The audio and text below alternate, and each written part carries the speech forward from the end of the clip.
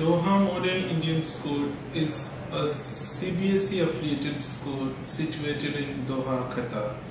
The state-of-art facilities provided here at DMIS foster all-round learning and the school can proudly claim next to none in the region.